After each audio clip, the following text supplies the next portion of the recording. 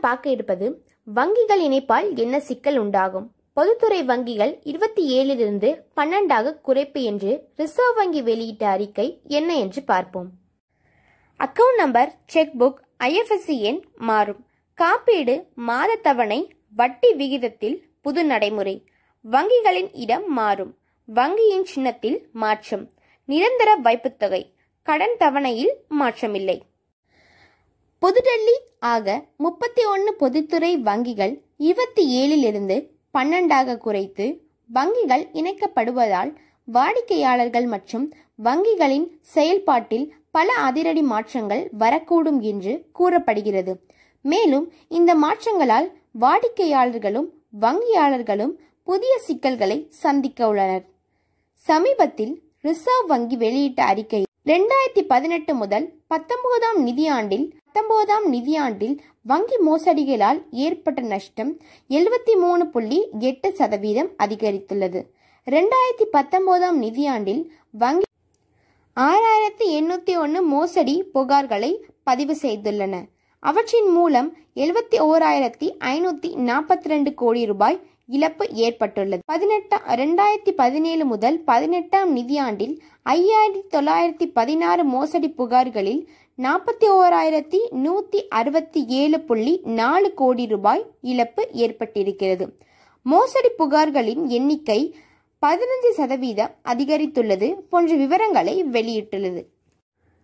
வங்கிகள் இவ்வாறு பல்வேறு நெருக்கடிகளை சந்தித்து வரும் நிலையில் இந்தியாவின் மொத்த உள்நாட்டு உற்பத்தி வளர்ச்சி அதாவது ஜிடிபி நடப்பு ரெண்டாயிரத்தி பதினெட்டு முதல் பத்தொன்பதாம் நிதியாண்டின் முதல் காலாண்டில் ஐந்து புள்ளி எட்டு சதவீதமாக இருந்தது.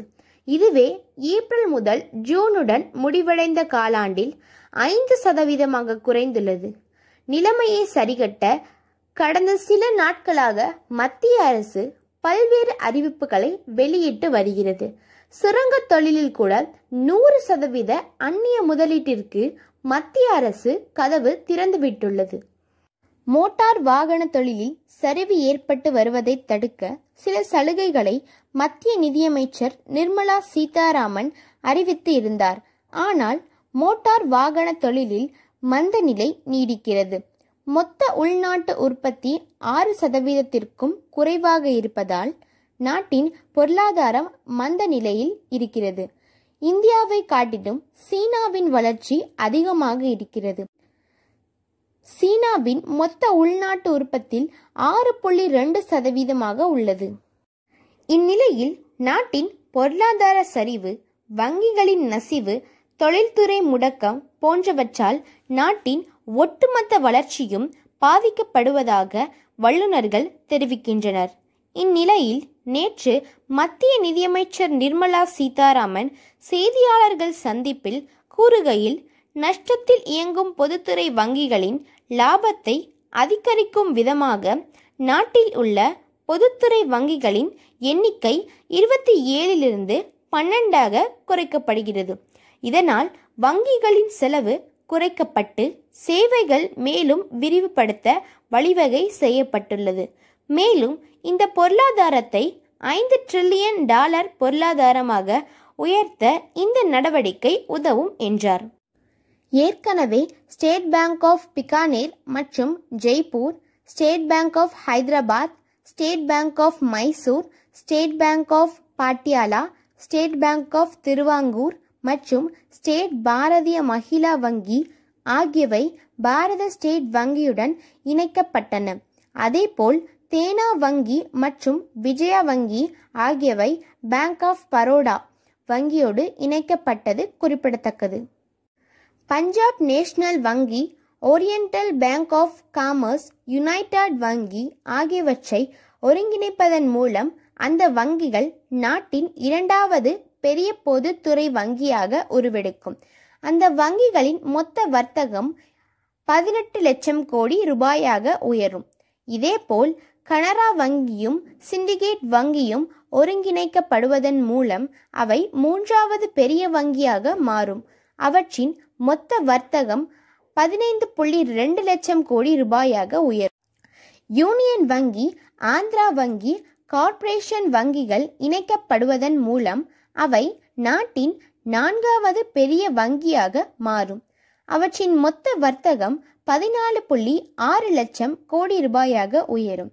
இந்தியன் வங்கி இந்தியன் வங்கியுடன் அலகாபாத் வங்கி இணைக்கப்படுவதன் மூலம் புதிய வங்கி நாட்டின் ஏழாவது பெரிய வங்கியாக மாறும். அவற்றின் மொத்த வர்த்தகம் எட்டு புள்ளி எட்டு லட்சம் கோடி ரூபாயாக உயரும் என்று தெரிவிக்கப்பட்டுள்ளது. இங்கு நாம் கவனிக்க வேண்டிய விஷயம் இந்நிலையில் வங்கிகள் இணைக்கப்படுவதால் அவற்றின் வாடிக்கையாளர்களின் செக் புத்தகம் மாறும்.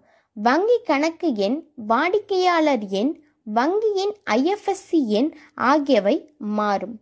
வங்கியின் ஐஎஃப்எஸ்சி எண் மாறுவதால் அந்த தகவலை வருமான வரித்துறை காப்பீடு உள்ளிட்டவற்றில் மாற்ற வேண்டியது வரும்.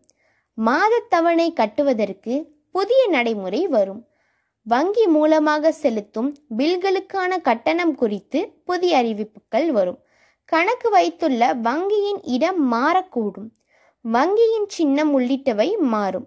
சேமிப்பு கணக்கின் வட்டி விகிதம் மாறக்கூடும் என்று தெரிவிக்கப்பட்டுள்ளது. ஆனால் வாடிக்கையாளர்களின் நிரந்தர வைப்புத் தொகைக்கான வட்டி விகிதம் மாறாது. வங்கி ஒருங்கிணைப்பு மூலம் வைப்புத் தொகைக்கான வட்டி விகிதம் கூடினாலும் குறைந்தாலும் நிரந்தர வைப்புத்தொகை வட்டியில் எந்த மாற்றமும் இருக்காது. கடன்களுக்கான தவணைத் தொகை மாறாது என்று கூறப்படுகிறது.